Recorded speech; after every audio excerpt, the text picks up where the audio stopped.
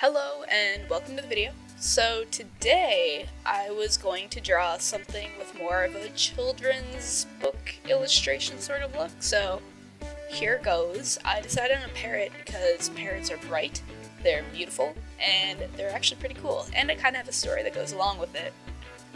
So back in the day, I had a pet bird. Was not a parrot, luckily. Luckily. Having a parrot is like having an 80 year old for or switch that. Having a two year old for 80 years. They're crazy. I mean, they're great, they're cool, they're fun, and a lot of work, but yes. But anyway, I had a cockatiel. When I was in fourth grade, my dad decided that for my birthday, he was going to get me a bird. And I decided that I wanted a cockatiel because they had that cool mohawk look and they had cute little Pikachu cheeks, and I wanted one. And it's a terrible idea to get uh, an animal for a kid for their birthday, just because, you know, kids get bored. But I never really got bored with any of the animals I had or got, but um, I've had a lot of animals. And so we went to Petco, and the saleswoman said, Hey, I have this bird.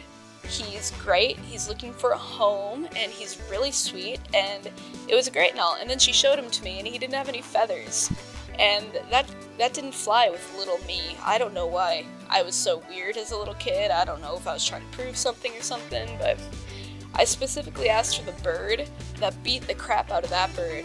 So I was like, he must be weak. I want the bird who did that to him because that's a strong bird. Boy, what a character I must have been as a kid. She was like, okay, probably won't make the best pet, but uh, here's Cookie, and that was the bird that beat the crap out of poor Snowball. He didn't have any feathers. Evidently, he was bright white when he did have feathers. But, you know, when you're a kid, all you really care about is looks. At least I did. And Cookie was pretty cool looking cockatiel, like more of a gray, dappled color. I'm not very big on birds. I've only had one bird all my life out of all of my pets. Um, but yeah, and so we ended up bringing Cookie home, and things were great and Cookie liked me, I liked Cookie, and then one day, little me decided that it would be an awesome idea to give Cookie a bath. And Cookie and I were not on the same page. And Cookie never quite trusted me after that, um, and that's okay. Uh, she didn't like me at all. She loved my dad though. But um, we, yeah, we, I kind of grew up, and well, that really grew up. I think we had her for two, three, four years maybe. Um, and then we had to rehome her. But the thing about Cookie is she ended up hating women. I don't know if that was because of me or if that was just. It was probably because of me. Maybe she just hated kids that were female. No, she hated all women. It was funny. But she'd dive bomb people. She never pooped on anyone though, so I'll give her credit for that. She'd dive bomb because we never clip their wings. We just, I don't know. I, I don't really like declaw cats. I don't like clipping birds' wings. It's just not what I do. No hate on anybody who does it, but yeah. So we ended up moving, and unfortunately, we had to rehome her. I did like her. She was a great bird. She could imitate the microwave to a T. You could not tell the difference between that bird and the microwave. It was amazing.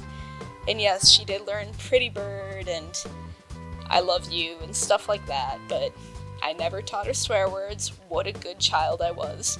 But yeah, we rehomed her, and the woman who took her in loved that bird, which is awesome. Like, it, it has a good ending for Cookie.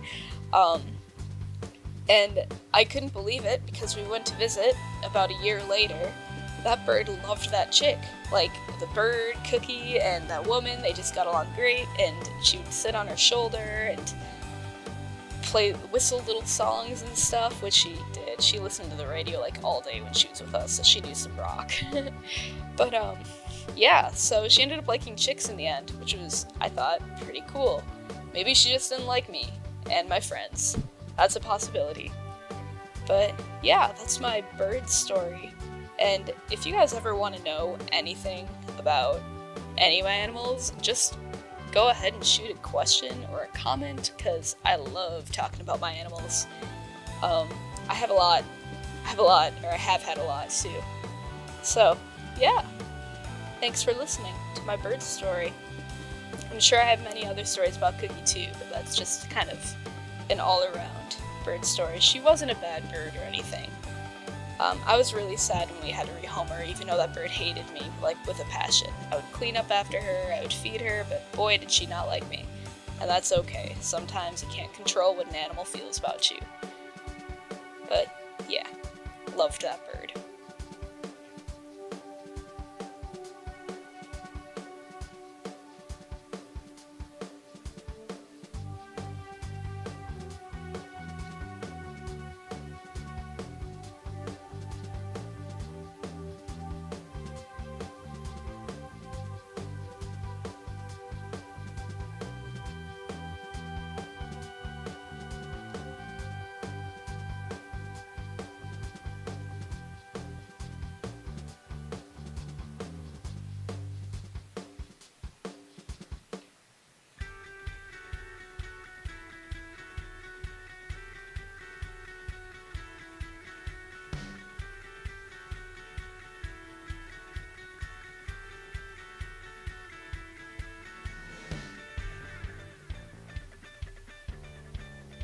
I think you can kind of see the children's book illustration that I'm going for right now. Like, that's a style.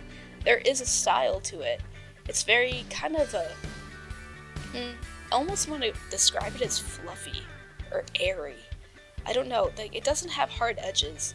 And you don't realize it when you're a kid, obviously, but if you're an adult and you pick up a children's book, you'll immediately see it, especially in the real, more realistic looking books. Like, that's kind of the look I was going for but I love working with bright colors. I I think they just they're happy. I like happy things, so yeah.